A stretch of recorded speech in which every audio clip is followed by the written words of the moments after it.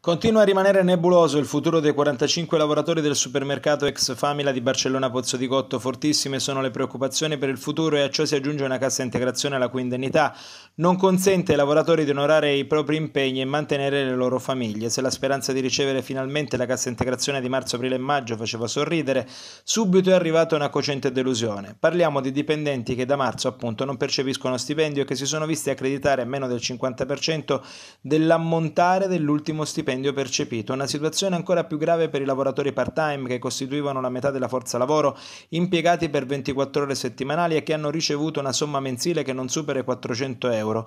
Tutto questo a fronte di spese da sostenere per la propria famiglia e mutui cui dover far fronte. E al momento non si travedono neanche spiragli di risoluzione della loro situazione che rimane quindi complicata. A garanzia dei livelli occupazionali e del futuro di 45 lavoratori e altrettante famiglie, i sindacati hanno chiesto un incontro urgente al presidente della quinta commissione dell'Assemblea regionale siciliana.